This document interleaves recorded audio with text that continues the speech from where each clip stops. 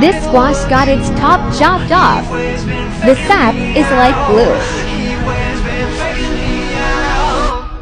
It will keep ripening instead of rotting.